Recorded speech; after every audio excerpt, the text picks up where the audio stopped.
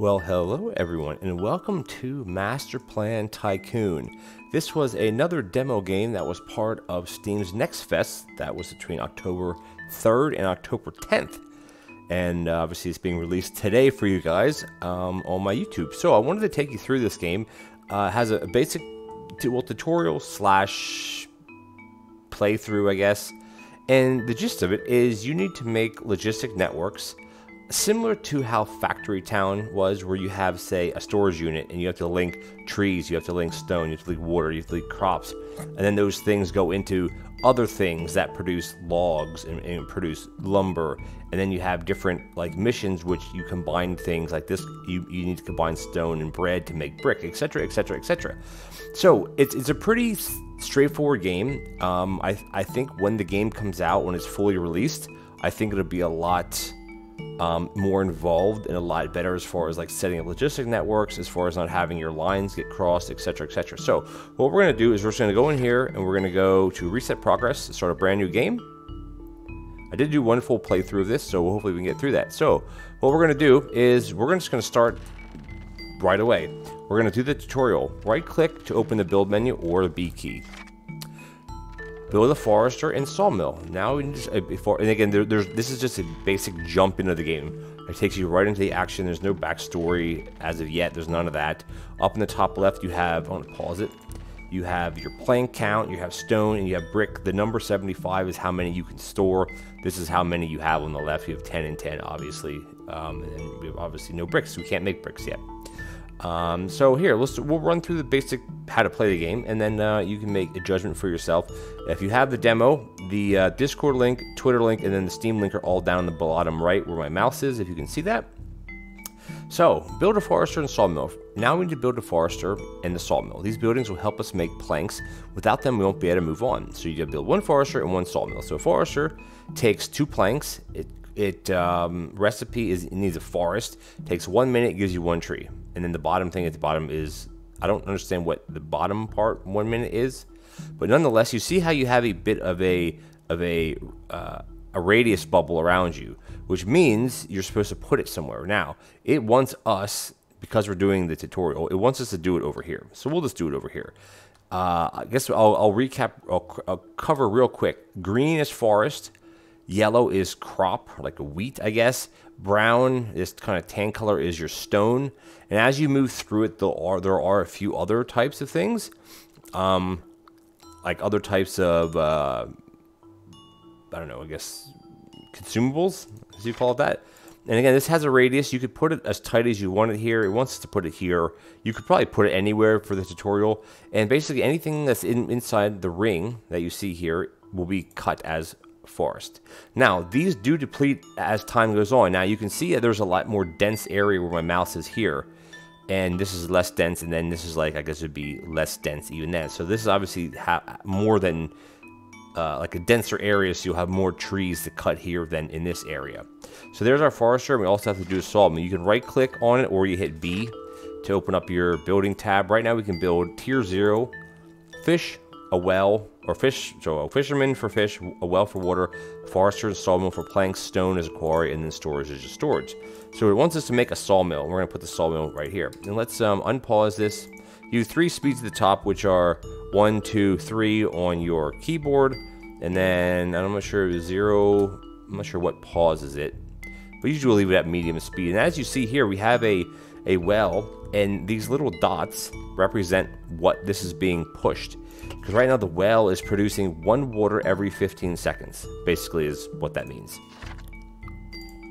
Now, what you have to do is you actually have to connect these buildings. You can only zoom in this far. And you see here it says whack, thack, thack, whack, whack. And this is like little, I don't know, maybe later on there'll actually be people here doing this stuff. But here it's taking away trees from the center. And if you look at our forester, it takes one tree every one minute. And then here it's going to count up to three. So there are there are ratios eventually as you get on farther and farther there's ratios. A forester you can have them doing two things. You can have them doing planting and cutting. You could have them just doing cutting. You could just have them just doing planting. So that represents the bottom bar. If you have them doing both, obviously they're going to do this one and they're going to do this, this and this. So it, it's not as lucrative. So we're just going to do cutting for now. and then let's click off of that. So you basically where it says tree, you click and you drag. You can drag this anywhere. Wherever it says wherever it's blue, that means it's okay. When it turns red or this orange color means something is blocking it. So we do that. So now we're gonna feed trees to the sawmill. The sawmill takes one tree, well it's here, one tree, and gives you two planks every 30 seconds. So basically you would need two foresters to keep up with one sawmill if you're looking to ratio things that way. For now, we're not gonna do that. You're gonna grab your plank and again, bring it down. These, these make little squiggly lines as you do it and you just tap it into here. And then this is your generic storage. And your generic storage, it doesn't, it won't, like if, you, if I hover, if I left click on it and hold it down, you see the big circle around it, it goes all the way up to the water, goes all the way to the left of the saw, of the for, forester and sawmill. If I let it go, it goes away. I don't know why it does that. Like, I wish it would just stay. Um, like the forester stays, you can see it has its ring already. The storage is so anything that you build within that range, you can connect to that storage and it'll pull from that storage. So right now we have some water, we have some planks, and we have some stone. And this is what we came with, which is what was up here, of course. The next thing it wants us to do is build a quarry because we need stone. Let's go to stone, go to quarry. Now again, this is a lot smaller circle. If you, if you look compared to the forester, a lot smaller one. Again, you could put this wherever it's red you can't you can't put it. So it can't be it has to be at least one tile away from the edge of everything. Obviously you can't put it in the water. The water has nice little like wavy graphics. You see it how it's kind of waving around? So let's put the quarry here where it wants us to. It builds pretty quickly. Now quarry will give us one stone in one minute and 15 seconds again we're going to drag this up to the up to the generic storage and like i said anything that's built within that radius or that I guess you want to call it radius of of this will um, you can pull from the storage. Now, buildings need food to function. These don't need anything, but some of these other ones they do. Uh, these don't, but it'll tell you what their infrastructure is needed to produce, which these don't at, the, at this time, um, but obviously they will. Now, one thing I want to point out is you see right here, when this finishes, there's going to be a little circle with a question mark which means it's waiting for materials. Because as I said, a sawmill produces one plank, two planks in 30 seconds, but a forester only produces one log in one minute. Anyway, let's move on to fishermen, because that's where you need to get food, which was going to come later on. And these, as long as these I think are touching this, they can go, actually, yeah, these have to be, yeah, full tile away. You can't kind of stuff them in there. Yeah, there's no rotating anything. You, this is just how it looks. It's funny that the quarry, it says knock. You can hear it. Just listen. Like it has a bit of a knocking noise. It'd be neat later on if this has like more animation to it. Or this game may stay very, it's, it's almost similar to like uh, Mini Motors or Mini Motorway and Mini um, Transit or whatever it's called where you're, you're, you're setting up uh, like rail stations and you're connecting buildings. Is a little bit different. Again, let's feed some fish. The fish are produced one every 30 seconds, so that's pretty good. Now, let's moving moving on. We need to get some water. The thing is that we already have water over here. I don't know why it wants to build another one. I think it's because this is so far away because the water has to travel all the way out here. And also because these things, no matter how fast they produce things, they can only send one, I believe, they can only send one per like length. Because the water says here and this one's all the way over here. As soon as this one clicks in then another one is going to pop up. See because the line essentially is full and there goes the other one. So the shorter the lines the faster it can go because only one thing can occupy this at one time. Uh, obviously that well is not put in the right spot. So if you want to re if you want to move things all you do is you just click on them and just move them like you just move them anywhere you want. For some reason it wanted me to put the well exactly where the fish was doesn't matter. Let's do the water for the well. Now, again, this builds pretty quickly. This will give you one water every 15 seconds. So that's pretty quick. Oops, sorry. You click on the dot and you drag it up in here. Again, this is universal storage. It'll store anything. As far as I know, anything in the game can be stored here. And like I said, even though we have water built up, you can only have one per like line, I guess, if that makes sense. You can't just funnel and funnel and funnel. What will happen is this will, this will back up and eventually it'll turn off. So again, this is also used for ratios as well. You can only have one, so the closer they are, the quicker they can get to each other. The next thing is we have to get into fish alone, or sorry, get into farming. You can't feed fishermen, you can't feed a settlement with fish alone. Exactly, because I don't even eat fish. So let's build a farm. Which farming, if you remember, is not in tier one. We have to, or tier zero. We have to click into tier one. This is where you start getting into more advanced things. So you have a farm, a mill, water, and to make bakery, which makes bread. So that obviously takes metal and other things, or sorry, meal, water, bread, other things. Again, it, it, it's this actually, these buildings have maintenance to them. You see, a farm has a maintenance of one fish and one water. A mill is two and two. A bakery is three and three. A well has no mason. Well, uh, things that produce basic items don't have a maintenance cost. Beer is another one. Farms do, breweries do, wells don't um, sheep farms, sewing workshops do, and then clay pit, and then obviously the brick factory, which we're not quite there yet. But we want to do um, bread by producing a farm. So we're going to follow where it wants us to put it, which I think is up here. Again, these can be put anywhere as long as when you do your little squiggly lines, like they, they if you can see, they kind of are naturally sloped a certain way and you can't make these go you can't like bring this one out like this. You can't do that. You have to kind of do a direct line. So it's good to have things close together but it's also good to have things far enough apart where, where the lines aren't going to overlap. So let's place a farm and then we're going to need a mill which is going to go right next to it. We're also going to need a well which we might as well feed our own well and then we're going to have a bakery. And you can oops sorry the well is going to i have to move the well. The well is going to go here and the bakery is going to go here. Oh, there. It wants, it wants it to, to go here, but I don't think it really matters. I think this is fine. So, the crop in here now, you can choose, again, plant or gather, similar to how the forester worked. And you can see, look how much we're actually depleting the, the wood now. So maybe we'll start doing some planting too. It'll end up taking more time because it'll do one thing of cutting and one thing of planting. Rinse and repeat. Let's see where this actually gets planted when this finishes. Let's see if we can spot it. Right there, it filled in this gap. So as long as you have one to one or have two of these, one doing planting, one doing cutting, it'll it'll keep running through. Now this one did two plantings at one at once. I'm not really sure why, honestly. These aren't sliders. It just like this is like taking from the forest. This is putting into a forest. Now we have our crops. Now we could have actually built this over here, because this is cropland, you can't click on anything to tell you what it is, but based on the shade of yellow, that's what it is.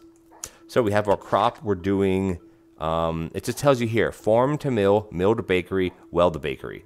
Basically, you figure out the left hand side here is what they need, the right hand side is what they're to give out to you. And we're actually to have to drag this bread up to here, so we might as well do that now because we have to go to this mission. Now you can connect everything. The meal is to go to here, the water to water. This water isn't to work as well. You know why? Because there has to be water near this. Like you have to have this on the water, which then you're like, hmm, well, how do we do that? Well, basically you have to move this one up. Oops, move this one up to here and move this one down. Well, you don't actually have to because they will cross paths here, um, which is kind of funny that the way this is set up because there's no way you could do this the way this setup is. You'd have to almost have it over here so they don't cross paths, but it doesn't matter. It, it, you can put this here. It doesn't really matter where you put it. The crops have to go into the mill. The mill is going to make the meal. So a crop produces one crop every minute. The mill uses one crop every 30 seconds to give you two, which is basically the same thing as saying you're using um, one per minute, basically, as far as how it comes in. Because this would be, you know, or actually, no, it'd be 15 seconds. You're getting two per 30, so one per 15 seconds. So you would need four farms to keep up with one. Well, excuse me, I'm, I'm getting ahead of myself again. You would need two farms. You have to go off of what this number says and what the yield is. But we're, we're anyway, we're producing two meal, and that's going to go in. And then also remember, as I said before, you need maintenance. Bakeries need maintenance, mills need maintenance, farms need maintenance. And the maintenance comes in from one fish and one water. And you can see how it kind of there's I'm not sure if it's like per minute. Seems like it's more than that. And then that all comes from the storage. If you remember, the storage, I can actually move this out a little bit more. It encompasses this whole oh, why wouldn't it let me move that? Hold on a second. Oh, I can't move it. Um, it encompasses everything there, which means the, so the, the, the, way that the, the storage works is that any building that has a maintenance to that will draw automatically from any storage building with, within the radius of where it's sitting. So the bakery, the mill, the farm are all within the radius of the storage. You can kind of see it kind of a grayed out area um, as a big circle around the storage. So as long as buildings are within that, it'll automatically drag and take the maintenance items, which is actually pretty nice, by the way. All right, so if something is wrong, it's not getting. Uh, well, the bakery actually is getting a maintenance item. Uh, what are we actually waiting on here? I think it's just the crop, right? Yeah, it's just the crop. Uh, but we have bread here, so we have 10, like this is full. So the way also you can tell is if you have a brown area coming out of this, that means it is full. And if you have brown areas here, I mean, there may be different colors down here. Uh, don't, yeah, they're all brown. So the brown, like, edge of the line means that something is full. This is this is the output is full, and this shows that the input is full as well. And then also means the bread output is not why is it not making one more? Oh, because it makes three at a time. That's why. So it can't make another one because of the way that it's set up here. This can only hold 10, so it has two extra plus the three extra that it made, which is why it says five, because it makes three at one time. But it does say here about the bakery having maintenance, which that's not true because we have the storage there. But again, for the tutorial, I think you actually have to you have to do it. And remember, that's interior one. So we just put this, um, maybe let's put it here, I guess. I don't know if it matters. This should, this should take care of this problem. And again, you can see how interesting the game is going. You could really have it, you know, have tons of forests all around here, a bunch of sawmills, as long as all the lines mat, meet meet up. Because you can't have them. Actually, it looks like you can have it going through the middle of of uh, of a resource, which is very interesting, by the way. And doesn't cost any money to to move things. If you click on this, you just click it again and move it which is kind of really, really handy, by the way. Okay, now, the next thing we're at is connect the quarry and bakery to mission. Whoa, what is this? Looks like a special mission. Now, special mi special missions basically take you to a new part of the of like a map within a map. So you're internally making bricks for this instant, and there's other missions um, uh, over here somewhere. I don't think in the tutorial you actually get to these missions, but nonetheless, it basically takes you to this. So the way you do it is we need stone now. And the stone is coming from the quarry. Well, it's like it's such a far distance away. Now, can we drag another one? The answer is you can, but you see it doesn't really work. So the way you do it is you grab it to the storage and you grab the storage to the stone. So the storages are used as a buffer, but also as a way to bend. You see how I'm bending all those lines? But I want to actually put it farther over here. There you go. Now the stone that's going to come from the quarry is going to go, one's going to go to here, which we already have 23, and then one's going to go to here. And then, oh, actually, it looks like they're actually shared. Oh, okay. That's one thing I didn't notice. So the, so the storages are shared between all of them. That's interesting. I didn't know that worked that way. Because, hmm, it doesn't tell you, I don't think. But basically, you see 51, 75, 60, 51, or well, 52 now, 79, 60. So, the, so the, they're shared. That's interesting really interesting that it does that. It wants us to do this, but this is good enough. Now, click on the quarry to quarry to mission. Oh, well, is it not going to let me do it directly? Or I mean, is it? Oh, I guess I have to do it directly then. Shoot. Okay. If you if you let's see, you left click on that, it goes away. Then how am I gonna? How am I supposed to do it? I guess if I connect it, and then if I just move this out of the way. Maybe I could do it like that. It wants me to use just one. It won't let you connect it if it's red. Hmm, interesting that it makes me connect it like that. I can't run it through the storage. Hmm. Okay, then ignore what I said as far as how that works then. That's kind of weird. Doesn't really make any sense. Oh, I know what it was. Because of that. Okay, I got it. Never mind. So, and, and here's here's another thing which you also have to keep in mind about the quarries. Build one more, build more quarries because now you're splitting the use of your main colony, your main area, with the mission area. So it wants us to build another quarry for some reason. I don't think we need to. Uh, where does it want us to build this one at? Does it matter? No, it doesn't really matter. But what it what it, what it wants you to do? Oh, why can I move the screen? There we go. It wants me to build it. Well, I'm gonna I'm going to build it here. And all I'm going to do there is I'm going to take I'm going to take this one away and I'm going to drag and put this one up in here. So that way it's separated. Now we go to the mission. And then it, it takes items. It takes five stone and ten bread, and you and you you have to go in and we're gonna make the bricks. Excuse me. Now again, if you remember, we're at tier one. Excuse me, sorry guys. There are multiple tiers of, I guess, difficulty. Like the most difficult one we have right now is the bread. It requires one basic building, two basic buildings, one refining building, and one like final building, if you look at it that way. Now in the mission, as you see, we're on like a brand new map, like a brand new area, and then here's your brick. So it's like storage here. Now to business. Do you see the node labeled in? That's what we're bringing. This is what we're bringing in from the other location. This includes the resources that we have collected in the master zone. Build the first stores in this zone, then we can get them. So it's it's kind of interesting how it works. I imagine later on in the game it gets to be a lot more complex because right now we're only bringing the stone and bread in, which I think the stone and bread is what you need for these other buildings. So we're just gonna click this and we're gonna click this. But you know what, guys? What I'm actually gonna do is I'm gonna I'm gonna I'm gonna pause this and I'm gonna split this up into two parts because I think the uh, the recording of this will end up going around 45 minutes, and I don't want to make that one video. So this is the first look, part one. Uh, we're gonna run through making the bricks. Again, we have to go back to base to back to excuse me, geez, back to ba- words are hard today.